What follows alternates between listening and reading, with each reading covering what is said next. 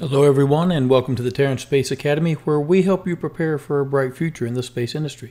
Here we have Starship Integrated Test Flight number two, and all 33 engines are firing and everything looks good. Then they shut down the engines to the Central 3, and everything seems to be going well. Here we're getting ready for hot staging.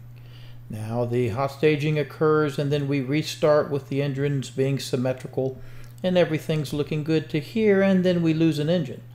Now we're flying along with one engine loss. That's not such a big deal. Then we lose another one, and then a third one, and then a fourth one.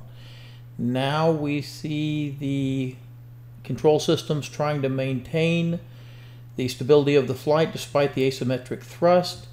And then we get along to here where we see another engine go out and then we see an explosion. This is explosion number one. We've got seven engine failures.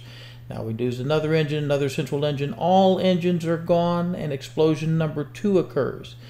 Then the FTS system is activated and the Starship booster system is gone. I think the same thing happened to the Starship itself. I think it suffered engine failures and that's what ended our flight today. More to come.